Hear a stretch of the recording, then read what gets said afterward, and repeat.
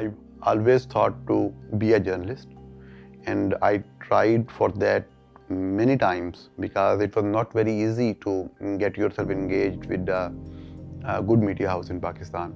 In this profession, again, I opted uh, uh, to become an investigative journalist.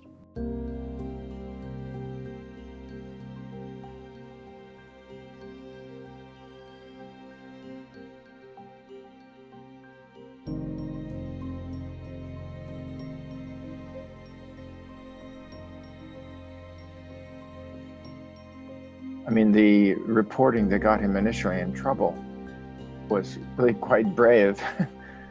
I mean, he was, he was essentially calling into question the integrity of of uh, evidence that was used against the you know Prime Minister Nawaz Sharif in the Supreme Court on a, in a corruption case, and uh, he, he did a series of highly critical columns. I guess it was in May, June, and July of 2017. That's what I'm sure what what got him in trouble in a country like Pakistan, there is a history of attacking the journalists as well.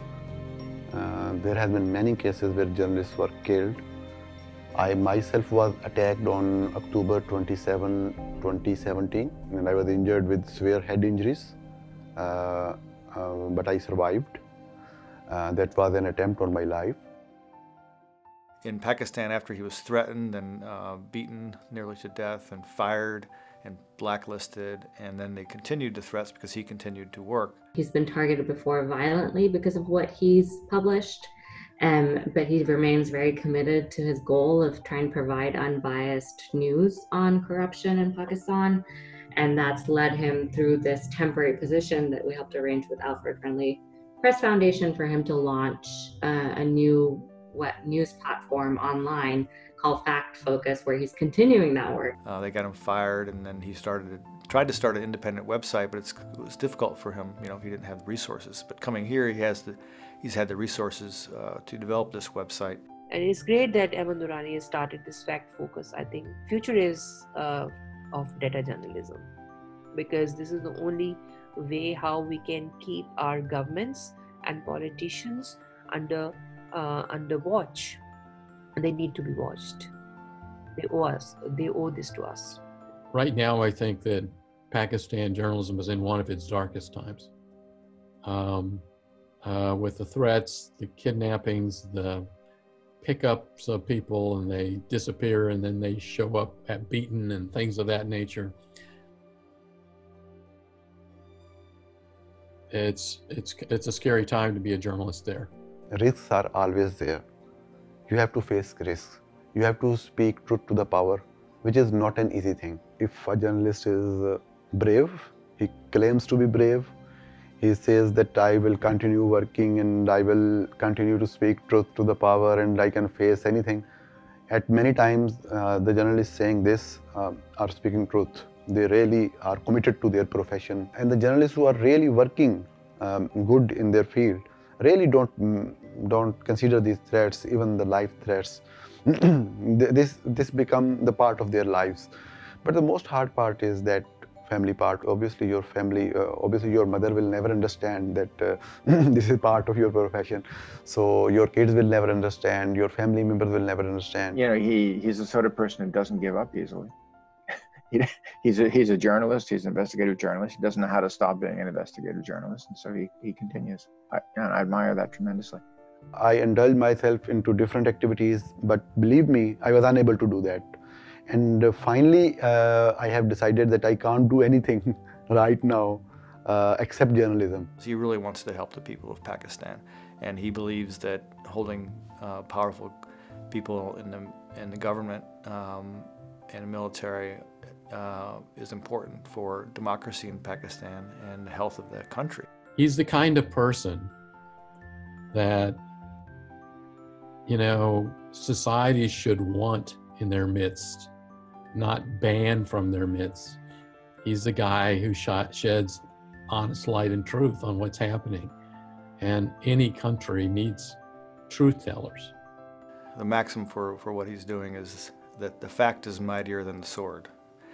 The military is very powerful in Pakistan, um, and they're not being held accountable. They, uh, and um, his he crossed the red line by doing this story about this retired general.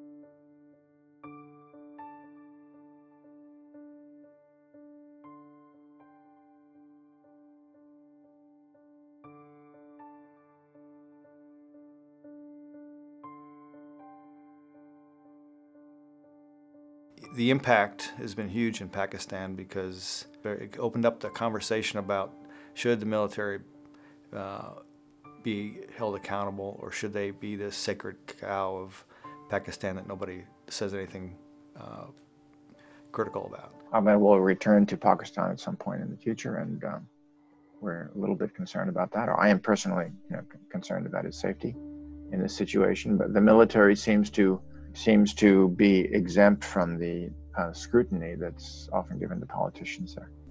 He should not go back. I don't. I, I don't feel he'll be very safe. I don't think he should go back right now. He got he he got away with his life last time. I don't think he should risk going back right now. I honestly don't. And the situation of my security is better than past. Why? Because I have done a big story which has become very popular among the masses so I feel support of the people. So if I will be attacked by anyone, the blame will go on the military. Facing treason charges will not be a problem for me. Facing any kind of case will not be a problem for me. They can put me in jail at maximum. The threat is of being attacked or killed, not any legal process. I will love to face the treason trial. My feeling is that with all the training and the journalism that's been done uh, and is being done there, that it's opened up society's eyes to a lot of a lot of things, and um, I do think journalism and journalists have a fair amount of power there. They wouldn't be getting threatened. There are risks, and where you are starting also matters. If you are starting in USA, in Europe, or if you are starting in Pakistan, you must be knowing that even your life will be at risk for every story.